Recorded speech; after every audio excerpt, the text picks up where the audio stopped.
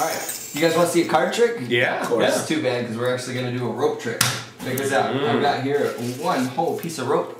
We're going to perform the classic of magic, the cut and restored rope. You've probably seen that trick before, right? Magician takes a rope, cuts it in half, and restores it. Mm-hmm. Check this out. Uh, Damien, if you go ahead and cut the rope anywhere you like. No problem. Perfect. Take a look at the piece of rope that you cut to. Go ahead and show John. Show the camera. Sure, why not? Place it back on there.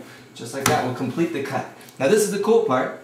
Because what I'm going to do is actually restore the rope by tying a knot in it. It's pretty good, huh? No, that's not the trick. The trick is you can actually see the knot right where we cut. Right there. Oh. Wow. Now, check this out. Would it be kind of cool if uh, that knot happened to be right where you cut the rope? Do you remember what you cut to? Absolutely. What was the card that you cut to? Seven of hearts. you have it, the seven Wow. hearts.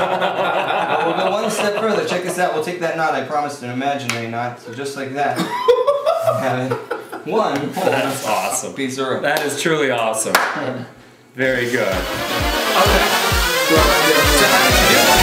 I I gotta learn it. All right.